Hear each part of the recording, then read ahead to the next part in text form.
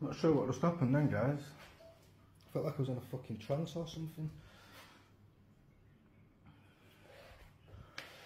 I need to watch this footage back. I don't know what happened then, guys. One minute I was eating a sandwich, and next minute I felt like I was waking up. I don't know what happened. Let me watch the footage back, guys. Just watch the footage back, guys. As soon as that marking appears, I've gone in some sort of trance for 10 seconds or so. There's bits of shadows on the mirror. I've been seeing shadows on the mirror over the last couple of days. There's been no sign of Cynthia. I think she might have brought something here, guys.